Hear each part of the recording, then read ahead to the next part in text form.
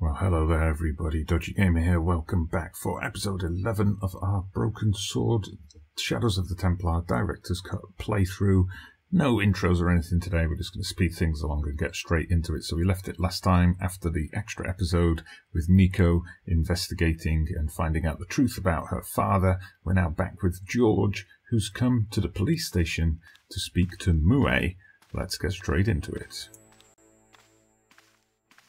Sergeant Moue? Uh, yes, Okay, so uh, let's ask him straight away about Khan. Do you know a man named Khan? He's a shifty looking guy with a scar on his left cheek. no, monsieur. He also calls himself Thomas Merlin. I'm sorry, Monsieur Stobbart. I don't know him. Has this man any connection with the bombing of the cafe? Yes. I believe Khan was the name he used when he hired the clown costume. Have you heard of a man called Marquet? Yes. He used to be known as the Mole of Montmartre. I heard he's been hospitalized, probably by one of his rivals. Which hospital was Marquet taken to? The Hagenmeyer Clinic in the Avenue des Hérissons. Why was Marquet known as the Mole of Montmartre? Because he lived in Montmartre, I suppose. Yeah, but why the mole? I don't know. Maybe he ruined people's lawns. Alright, well, let's come the two heavies outside like the hotel. assault. Yes, monsieur? Where is the victim? I'm the victim. I've been harassed by a pair of thugs. I see. And where did this alleged assault take place? Outside the Hotel Ubu. They stopped me as I was leaving and went through my pockets. Could you describe the suspects, monsieur? One looked like a gorilla, and the other looked like a weasel. Their names are Flap and Guido. Bon. I'll get them this time. Known to the police, then. Okay, let's go through our items, see what we can get here. Do you recognize the man in this photograph? No, monsieur? It's the guy who bombed the cafe. The clown. This man looks nothing like a clown. He's taken off his grease paint oh, and Oh, costume. yes. Then there is nothing to link this man with Typical the killing. observation from the Nothing? police. Look at those murderous eyes. Hmm. Hardly likely to get him convicted. Clutching at straws there, George. Do you recognize this dirty tissue? No, monsieur, I do not. I found it in the sewer. Perhaps it would be better if you put it back there. No way! This could be an important clue. If you say so, monsieur. Would you like to shake my hand, Sergeant? Not while I'm on duty, monsieur. The gesture could be misconstrued. See you later, Sergeant. It was just some police paperwork, a search warrant. Okay, nothing there for us to take then. We don't need to call Nico, so I think we need to go to the hospital. Here we go, we've made it to the hospital. There was no sign of the crew of the ambulance. Yeah, I hope nothing happened to them. Alright, let's go inside. Ah, a doctor. The guy seemed to be practicing his air of authority. Today, he was working on his withering stare. Well, let's have a chat to the doctor and see what he's got to say. Hi, my name's George Stobbart. Really? If you wish to make an appointment, see the receptionist. These doctors are always a bit arrogant like I'm that. Don't talk to me, named talk to my Marquet. staff. In which department does he work? He doesn't. He's a patient. I see. You do realize there are strict policies regarding visiting hours, don't you? This is important.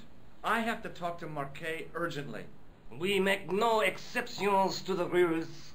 It's a matter of life and death. The well-oiled running of this hospital is a matter of life and death. That's true. That's why we have rules. I think I ought to warn you that Marquet is not what he seems. Explain yourself. He's in league with a bunch of guys who want to take over the world. Nonsense. Besides, Marquet's employers have paid in advance for one of our most exclusive private rooms. Could you tell me who Marquet's employers are? Certainly not. Okay, let's see. Is there anything coming out of the items? Do you recognize the man in this photograph? No, sir, I do not. Look at this, Doc. It's a genuine medieval type gemstone. Yes, so I see. Remarkable. I have to take this gem to Marquet. He might be able to explain its significance. My dear chap, Marquet has other things on his mind right now. Like what? His catheter, for one. Okay. Alright, so it's worth trying those two out. I doubt anything's going to come out of the remaining items. May I have the honor of shaking you by the hand? You may not. I don't encourage physical contact between my staff. It was worth a try. Thanks for your help. Oh well, we tried the hand buzzer, but nothing else came up with what we were looking for. The woman managed to look overworked and hassled, though she didn't appear to be doing anything. She appears to be typing stuff up on the computer. To me, George. Anyway, let's have a word. Excuse me, Yes, sir. is this the Hagenmeyer Clinic? That's correct. I thought I was in a garden center. Oh, the plans. They were my idea. A little greenery to evoke the spirit of nature. How may I help you? I'm here to see Jacques Marquet. Oh, yes. Are you related to our client, sir? Uh, we'll be honest. No, I'm conducting a private investigation. Then I can't help you. Oops. So, do I get to see Marquet before the funeral? That attitude will get you nowhere. My instructions were quite clear. No one gets to see Marquet. So unless you can prove you're a relative or a close acquaintance, you're wasting your time here. If your instructions were no one, what difference would it make if we're a relative or a close acquaintance? Has Marquet been visited by a man in a clown costume? Oh, no. You haven't seen a man in disguise? Well, there's Theodore the Bear. He comes every Thursday to entertain the children. Personally, I think he scares them half to death in that crummy old bear suit. If I was stuck on my back with tubes in every orifice, he's the last person I'd want to see. Okay, a bit graphic in the detail there. Has Marquet had a visit from a pair of gangsters? I should hope not. Can you describe them? A thin guy who looks like a weasel and his friend, the gorilla. Sounds as if they escaped from the zoo. Right, let's show the picture. Have you seen this man here at the clinic? No, sir. And I never forget a face. Okay, I don't think any of the other items are going to be useful. We'll just try to shake a hand. I'd like to shake you by the hand. Don't be fresh, young man. It's just a handshake. Come on. Look at this ID pass. So you're Merlin. Marquet's been asking for you. Oh, there For me? go. Yes. He was shouting your name when they brought him in here. Oh, now, nice. let me see. It's a good thing I decided to go through the items after all. He was on Ward B12, as I recall. Oh, he's being transferred to... Oh, dear. He's on Ward J2. That's... Nurse Grendel's ward. Okay, let's find out about this nurse Grendel. What's so bad about Nurse Grendel? She runs that ward like a South American prison. Keeping a well-disciplined ward isn't a crime, is it? Well disciplined. In the discipline and punishment stakes, she'd whip the butt off the Marquis de Sade. Everything, I mean everything, is done to a strict routine. Six o'clock alarm call, six ten bowel movements, and woe betide anyone who doesn't have a result. Those patients of hers are like Pavlova's dogs. She sounds like a real nightmare. And then some. When they said South American prison, I thought they meant the patients had taken over and the medical staff just stay on the outside. If Nurse Grendel is that bad, how come the authorities tolerate her? She's like part of the furniture. I was beginning to get the picture. This woman was jealous, with a big green capital J. How do I find Nurse Grendel's ward? Down the corridor on the left, turn right at the senior consultant's washroom. Right again at the executive coffee lounge. Bear left past the administrator's sauna. And turn left at the end. That's J2. And good luck. Okay, so the other items didn't bring up anything, but now we need to find J2. Thanks for your help, ma'am. You're welcome. Okay, off we go. As I turned the corner, I saw the source of the hellish noise which echoed through the corridors. It was an industrial polishing machine with an odd-looking guy in tow. Okay. So can we speak to him? Hello. What's that? I said hello. Oh, hiya. I'd like to talk to you for a minute. That's what I thought you said. Don't look so down in the mouth. No matter how bad things seem, I never let life get on top of me. Oh, yeah? What's your secret? Why, it's easy. All you have to do is smile and whistle this little tune. You know Is it what? always look on the bright if side of life? whistling, I'll bust you in the teeth. Whoa, whoa, George. It's a deal. Georgie, that, that was a bit uncalled for. Do you know where I'd find a patient called Marquet? No, I'm not allowed on the wards with Mr. Shiny. Have you seen any unsavory characters lurking about in the corridors? No, sir, I haven't. But I've got nothing to worry about. What's that, Mr. Shiny? You'd take good care of the rascals, I'll bet you would. With a friend like him, I've no fear of oppressors. It must be a great comfort. He is. Okay, so we developed the conversation about Mr. Shiny. Would Mr. Shiny be your polishing machine by any chance? Please, don't call him that. He's more of a friend than a machine. I've had Mr. Shiny for three years, and he's never let me down once. You really need to ask about that, George. How come you got so attached to a polishing machine? I asked you not to call him that. He's got a name, you know. Uh, yeah, Mr. Shiny. It's just that You think it's odd, don't you? I don't mind. The rest of the staff think I'm twisted. I heard them snorking behind me back when I gave Mr. Shiny his weekly pull through. Right, let's go for Khan. Do you recognize the man in this photograph? Who is it?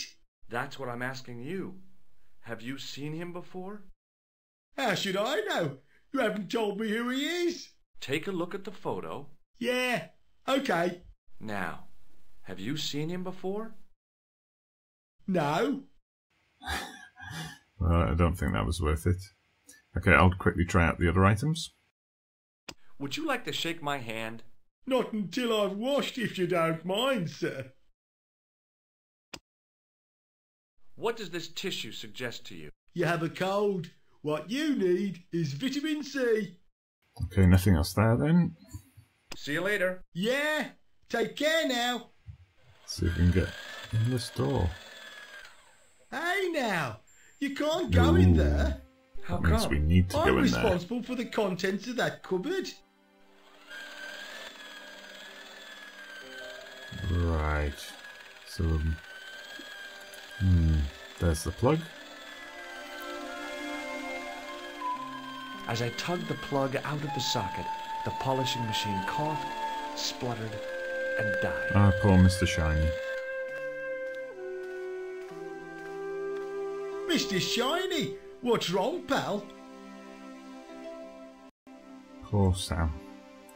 We've upset him.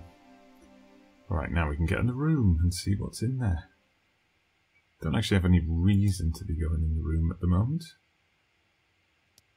But hey, they wouldn't let me go in. So what's happening here?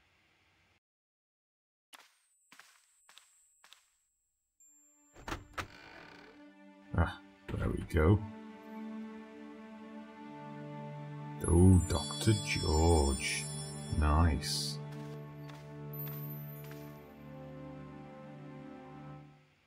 Alright, let's go and find Nurse Grendel then.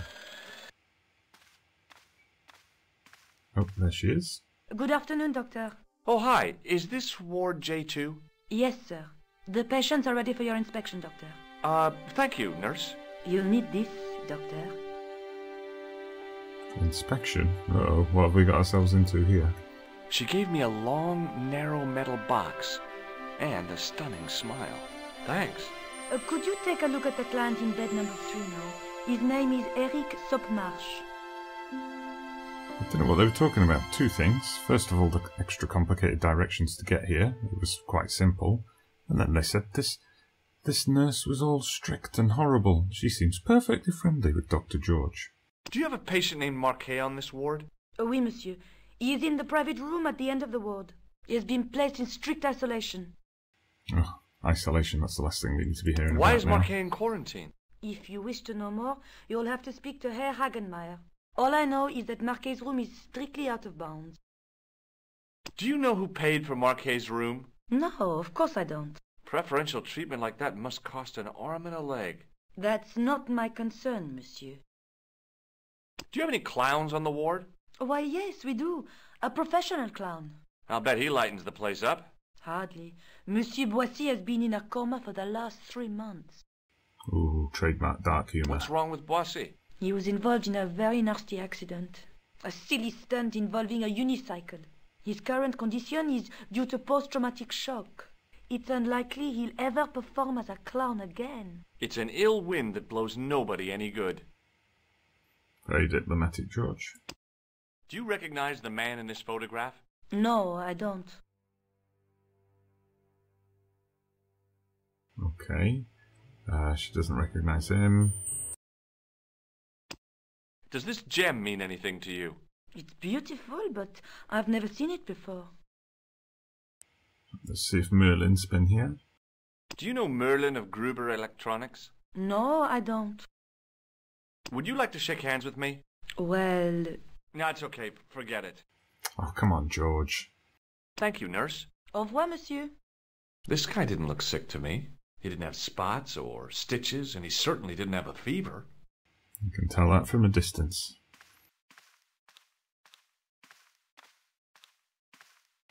Hello? Anybody home? Who are you?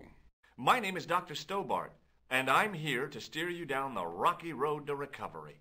Dr. Monroe said there was no cure for what I've got. Your problem is you stayed in bed too long. Are you sure you're a qualified doctor? You better believe it.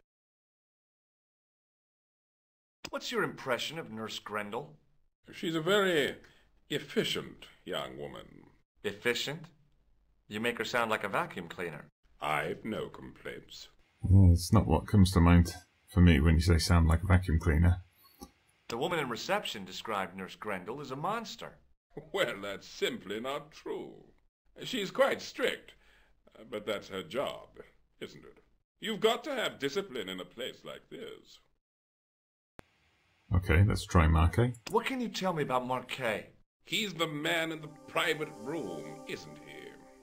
That room was mine before I was tossed out like a common squatter.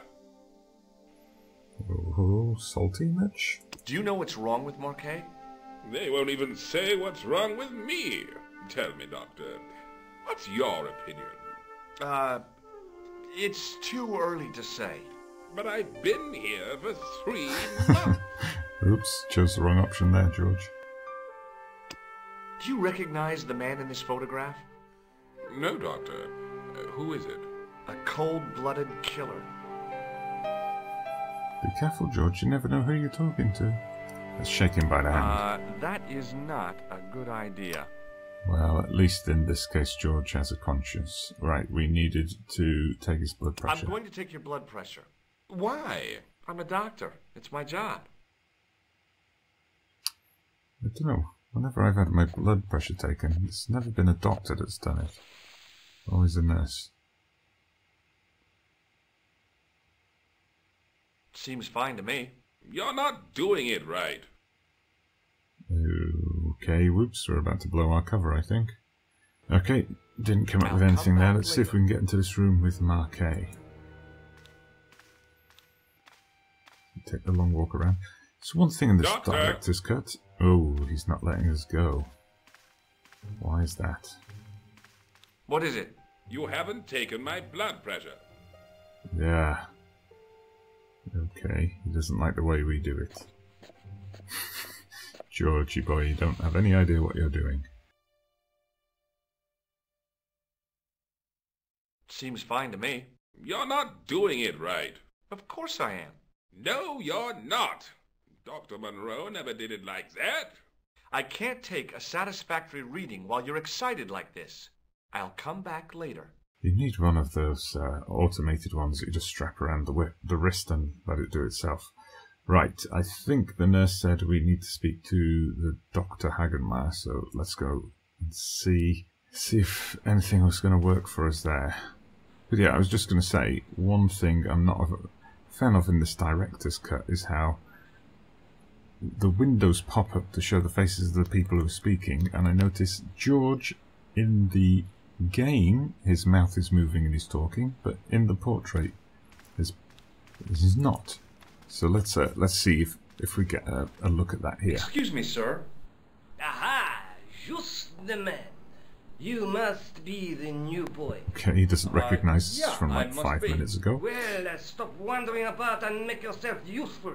Bunny, uh, come here, boy. Bunny.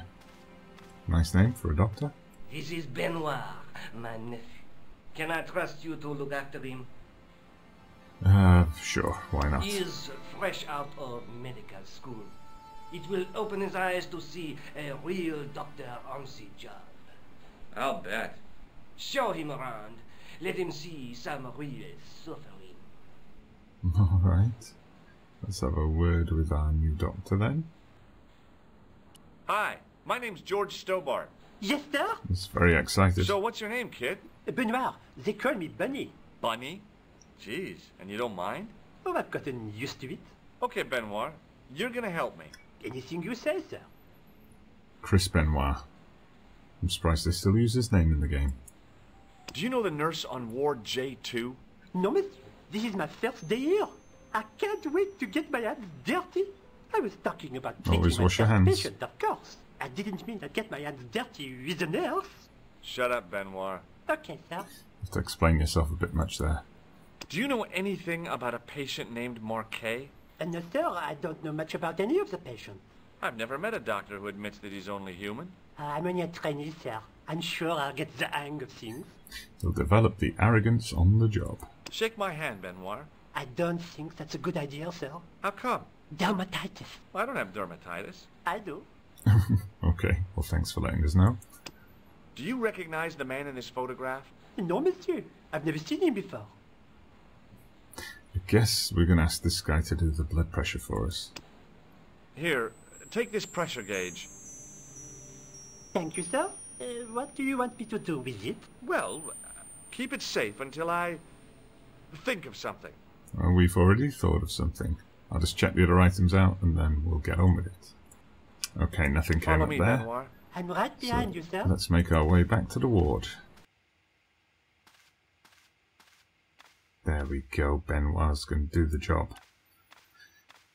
So I guess we'll have to talk here first and just explain. The junior doctor's going to do it Hi, for us. it's me again. I'll come back later. Okay, I guess we don't need to talk to him. We need to talk Hey, to the doctor. Yes, sir? Do you still have that gauge I gave you? Ah, yes. What do you want me to do with it? Use it on Eric Sopmarsh. Okay.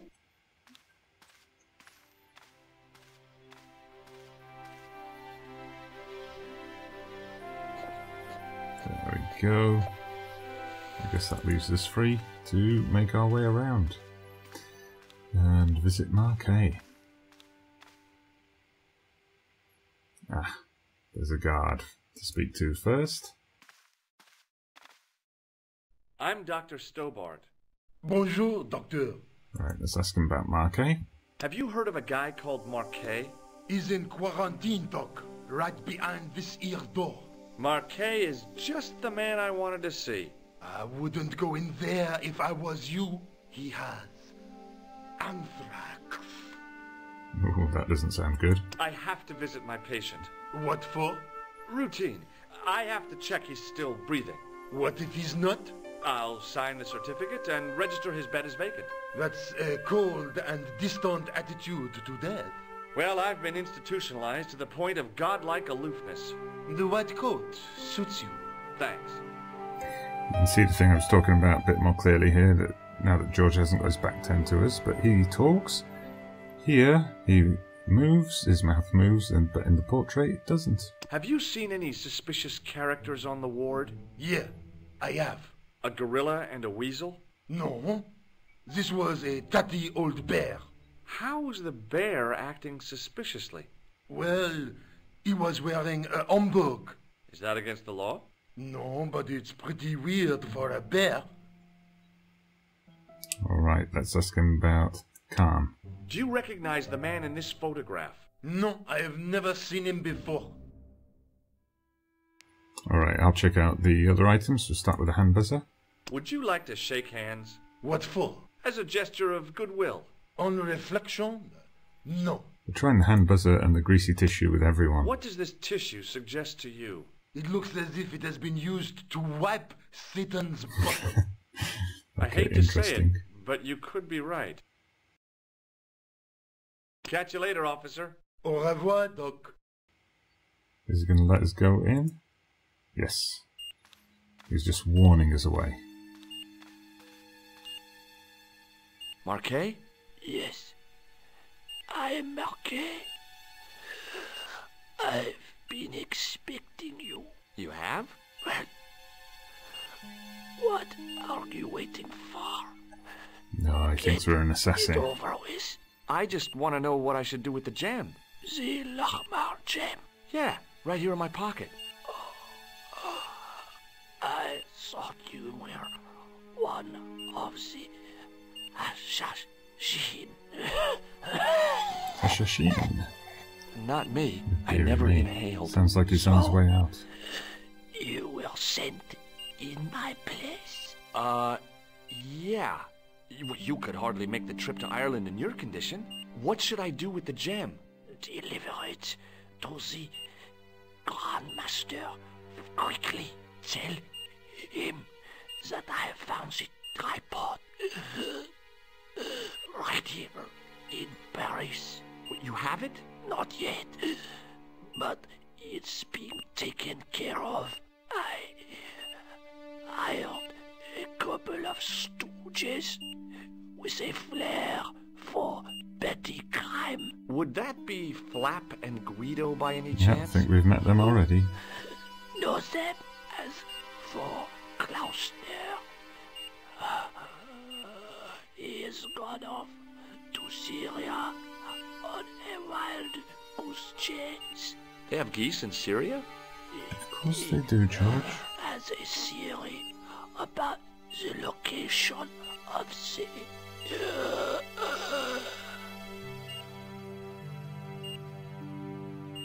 That's enough excitement for one day, Monsieur Marquet. What are you doing here? Talking to this patient, of course. Monsieur Marquet is my patient. If Herr Hagenmeyer was to hear that, Okay, I'm going. I'd learned all I could from Marquet anyhow. Bit of a cold attitude there, George. And there you are, sir.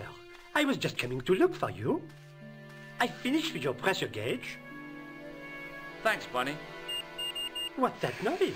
It sounds as if someone's having a cardiac arrest. It's all right. The doctor's in there with him. Are you sure he was a doctor? Oui, monsieur. He showed me his ID. It was Dr. Braille. There's no Dr. Braille working here. He's an imposter. Wait a minute, Benoit didn't know the patients. The door's locked. Didn't know the Help me, patients or the officer. nurses, but he knows the doctors. Mm. Stand back, monsieur. Ooh, wow, we got the gun out.